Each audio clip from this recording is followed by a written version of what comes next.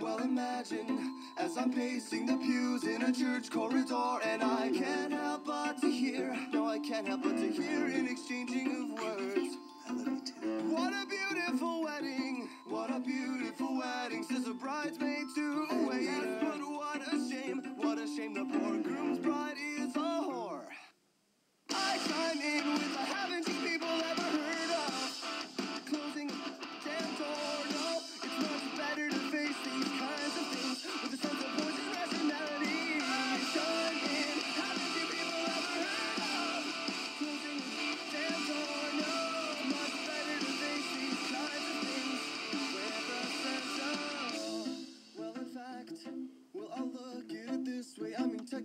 your.